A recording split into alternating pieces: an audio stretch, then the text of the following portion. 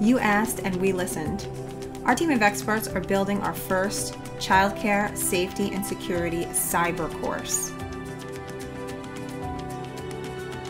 Cybersecurity and child exploitation has become a real problem in our community. We are on a mission to empower and educate parents with all the knowledge they need to protect their families.